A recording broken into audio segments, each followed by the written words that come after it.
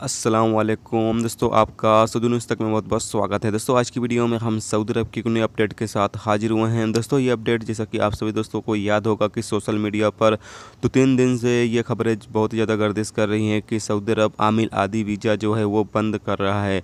लेकिन दोस्तों, इस हवाले से मैंने भी एक वीडियो बनाया, सबसे पहली वीडियो बनाया था, वो मैंने आप सभी दोस्तों को बताया था। लेकिन दोस्तों, आप सभी बता चलें कि फ़िलहाल में आमिल वीज़ा जो है वो बंद नहीं किया जाएगा। इस हवाले से एक अपडेट और आ चुकी है और ये अपडेट जो है, मकतब अमल के जो तर्जुमान है, खालिद अबा खैल, उन्होंने ट्वीट किया है, यानी कि कल जुमा था, उस दिन उन्होंने ट्वीट किया है कि ये वीज़ा जो है, वो बंद नहीं किया जाएगा, वो चाहे फिर औरतों के लिए हो या मर्द हजरात के लिए हो, जो आमिल आदि वीज़ा है, वो बंद नहीं किया जाएगा। और साथ में ये कहा है कि इस तरह की जो खबरें गर्दिश कर रही हैं, ये बेबुनियाद है कि आमिल वीज़ा जो है, वो बंद किया जा रहा है। और इस तरह की कोई भी खबरें हों तो वो मकतब अमल की जो ऑफिशियल वेबसाइट है, उस वहाँ पर आप देखे जाकर, अगर वहाँ पर ये खबरें हैं तो सही हैं। अगर ऐसी यानी कि जो मकतब अमल की ऑफिशियल वेबसाइट है, वहाँ पर इस तरह की खबरें नहीं हैं तो ये फिर खबरें जो हैं, वो बेबुनियाद हैं और इसमें कोई भी सच्चाई नहीं है।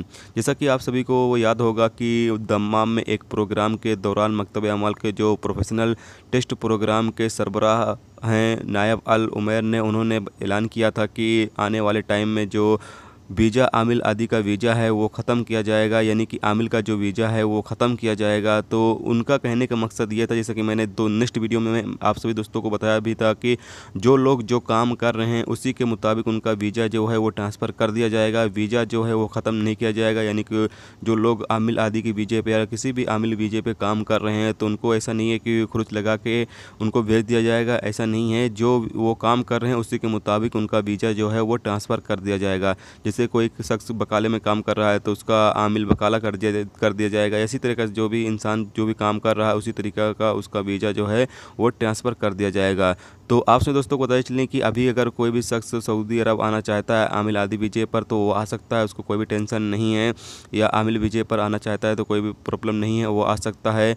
और आप सभी दोस्तों को भी बताया चलें कि अगर आप किसी को भी वीज़ा लेकर बुलाना चाहते हैं तो आप बुला सकते हैं, ऐसा नहीं आमिल वीज़ा बंद हो रहा है। जब भी वो सऊदी अरब आएगा, जब भी इस चीज़ का ऐलान किया जाएगा कि सऊदी अरब में जो काम, जो शख्स कर रहा है, उसी उसी के मुताबिक उसका वीज़ा ट्रांसफ़र किया जाएगा तो वो जब भी ऐलान होगा तो उसी के हिसाब से उसका वीज़ा जो है वो ट्रांसफ़र कर दिया जाएगा। लेकिन हाँ आप सभी दोस्तों को बता चलें कि ये जो टेस्ट है, ये शुरू किया जाएगा और ये टेस्ट ऐसे अफराद के लिए, जैसा कि मैंने कल की वीडियो में आप सभी दोस्तों को बताया था कि ये टेस्ट जो है, जो तकनीसियन हैं या जो प्लम्बर हैं या जो इलेक्ट्रा, इलेक्ट्रॉनिक का काम करते हैं, इस तरह के जो अफराद हैं, उन तमाम लोगों का जो है टेस्ट लिया जाएगा और बाद में उनका काम जो है वो जारी किया जाएगा।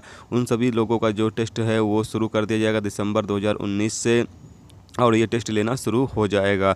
तो और दोस्तों आपसे दोस्त, दोस्तों की ये पता चलें कि जो लोग इंडिया से नए वीजे पर आएँगे जो इस तरह के वीजे पे आएँगे यानी कि इलेक्ट्रॉनिक काम में आएँगे या फिर तकनीशियन काम में आएँगे या फिर प्लम्बर या इसी तरह के जो भी कोई इस तरह के काम में आएगा तो उनका टेस्ट लिया जाएगा उसके बाद ही उनका वीज़ा जारी किया जाएगा। बाकी रही बात कि आमिल आदि का जो वीज़ा है वो बंद हो रहा है तो वो बंद नहीं होगा। आमिल आदि का जो वीज़ा है वो जारी रहेगा और आगे भी रहेगा।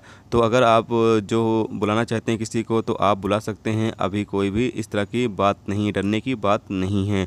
तो यही एक अपडेट थी, सोचा तो आप दोस्तों के साथ शेयर किया जाए तो उम्मीद करता हूँ दोस्तों ये वीडियो आपको पसंद आई होगी। पसंद आई है तो लाइक और शेयर ज़रूर करें। चैनल पर नए हो तो चैनल को सब्सक्राइब करके साथ में बिल के आइकन को ज़रूर प्रेस कर दें, जिससे जब भी मैं कोई नई वीडियो डालूँ, उसका नोटिफिकेशन आप दोस्तों को मिलता रहेगा। चलिए दोस्तों, फिर मिलते हैं नेक्स्ट वीडियो में नेक्स्ट टॉपिक के साथ। जब तक रखिए अपना ख्याल रखिए, खुदा हाफिज़।